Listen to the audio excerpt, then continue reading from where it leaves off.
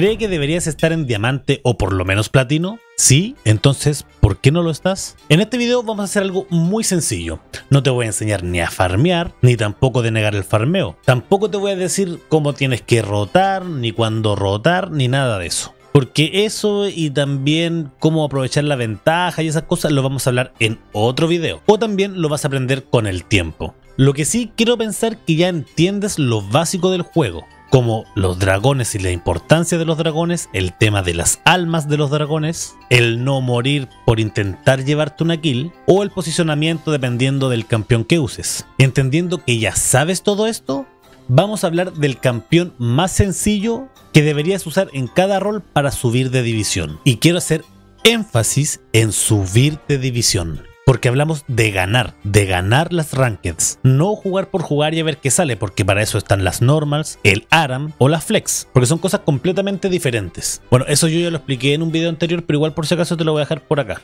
Que es uno de los errores que nosotros cometemos al jugar ranked, que es jugar un campeón, una línea, después otro campeón, otra línea y así eso realmente no sirve. Obviamente todos los campeones tienen un poder de mm, carreo distinto. Algunos ayudan a carrear y otros realmente carrean. Obviamente si todo sale bien, porque si pierdes la línea, todo se fue a la B. Pero ya volviendo al tema principal, hay campeones que nos facilitan la escalada de divisiones, ya sea por su kit de habilidad o porque su kit de habilidad también no es muy complejo o porque son más tanques, etc. Y gracias a estos campeones, y obviamente si es que tu equipo no muere 20 veces cada uno antes del minuto 10, vas a poder carrear las partidas. Estos campeones son mal llamados los noob champs, y si los quieren llamar así, meh. Pero como te dije al principio, son campeones que son para ganar las partidas. Y aparte de ganar las partidas, créeme que su poder es tan absurdo que los hace muy divertidos porque mientras tú te entretienes y ves cómo caen los oponentes, lo más probable es que tu oponente ya esté tirando Alt F4 o su render. Obviamente vamos a empezar con la línea de top. Bueno, en la línea de top hay muchos campeones que solamente farmeando y esperando el juego tardío o el late game van a empezar a farmear campeones. Es así como un Nasus que farmee la Q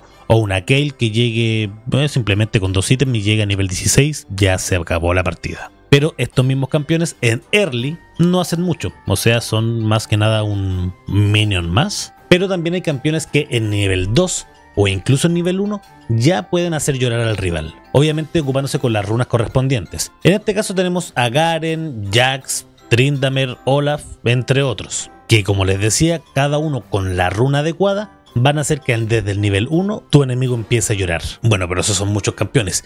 Mi recomendación si quieres jugar uno en concreto es que sea Garen. A ver, te explico. La Q de Garen te va a silenciar, te va a hacer daño, hace que tu campeón se mueva exageradamente rápido. Para lo que es, su W es un escudo. Y si activas la W, es otro escudo. O sea, o sea te da más aguante que aguantín. La E te hace girar como un Blade Blade. ¿Se acuerdas del Blade Blade? O algo así. Gira, gira, gira, gira. Y matas, matas, matas y matas. Y la R ya es para ejecutar a un campeón. Pero ejecutarlo. Un cuarto de vida y le estés pegando R y listo. Aparte de eso, si tú haces un tradeo contra el otro campeón, ambos se quedaron a un cuarto de vida, aprox, con tu pasiva, va a ser que te hayas tomado como 20 pociones seguidas y vas a recuperar la vida en 10 eh, segundos. Mientras que tu oponente todavía va a estar con un cuarto de vida o en base. En la jungla tenemos a Mumu, Warwick, Nocturne, Ramus, que son campeones muy buenos para divisiones bajas e incluso medianas. Aparte, si tú los maineas, te van a dar muy buenos resultados. Porque tienen mucho daño.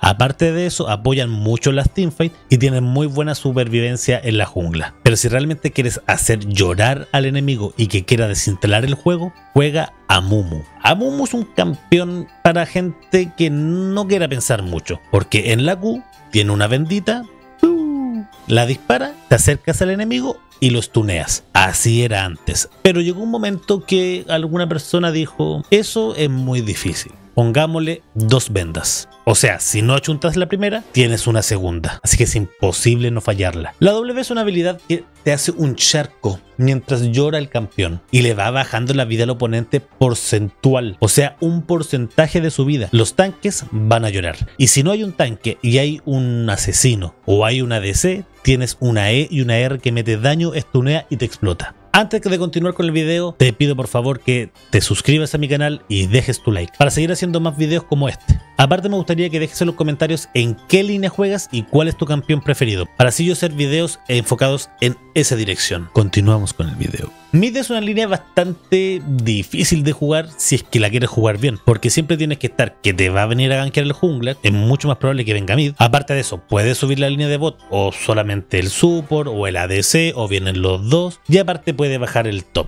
Aparte de eso, siempre va a estar el jungla ahí diciéndote, eh, acompáñame a hacer, a robar o a hacer el dragón o vamos al heraldo, no sé. Pero siempre tiene que estar pendiente del mapa. Pero Obviamente, como en todas las líneas, tenemos un campeón que nos va a ayudar a hacernos la vida fácil. O varios campeones, como por ejemplo Annie, Lux, Malzahar, Veigar o Talon, que todos tienen un muy buen escalado de juego, eh, tienen muchas cosas buenas. Todos tienen un muy buen escalado, pero si de escalado hablamos, hablemos del rey del escalado, del escalado infinito, Don Veigar que literalmente tiene un escalado infinito, o sea, tiene una Q que tú la vas farmeando, que te va dando poder de habilidad hasta no hay límite. Aparte con la pasiva, cualquier habilidad que tú le atines a un oponente también te da poder de habilidad. Y si tú lo matas te da aún más poder de habilidad.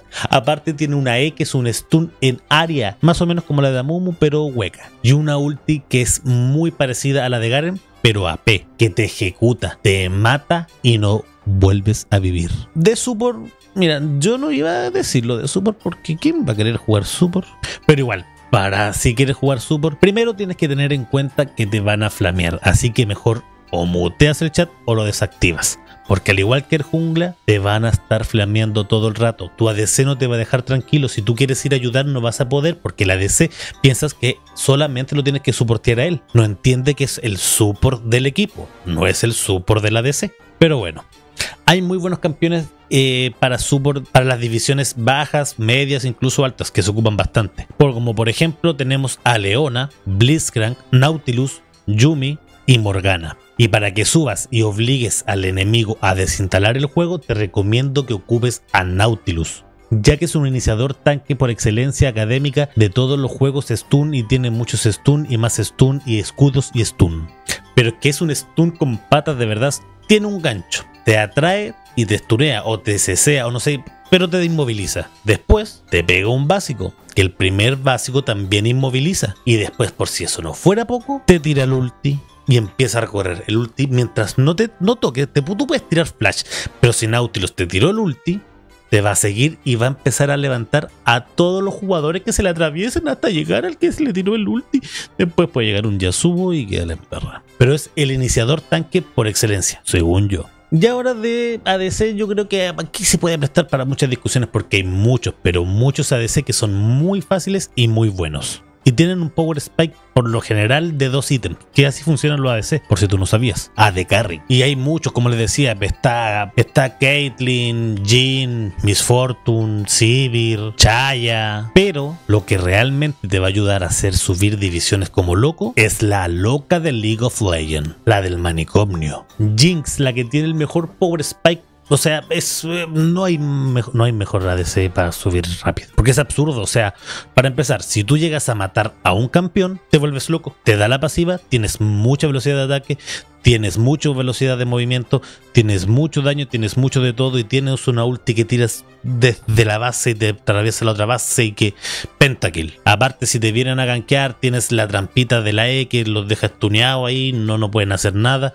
Y si se te están arrancando tienes la W que tira un zap y ralentiza y hace daño y eh, no, no. Jinx es la clave. Bueno, y estos fueron los 5 campeones que yo te recomiendo. Son un video más diferente, eh, espero te guste y te sirva. Esto sería el video, espero que te haya servido. Si quieres seguir aprendiendo, aquí al final te voy a dejar dos videos anclados para que los puedas ver, yo creo que te van a servir bastante. Recuerda también suscribirte a mi canal, dejar tu like y compartir este video. Es gratis. Y ya, si me quieres ayudar, aquí abajito también está la opción de unirte, que es para hacerte miembro del canal y eso ya lo deberías pagar, pero eso es voluntario. Si usted quiere me ayuda ahí para poder comer un poquito de caviar y querer comprarme obviamente un Rolls Royce. Nah, mentira. Ferrari. Soy el Fuma y nos vemos en el próximo video. Bye bye.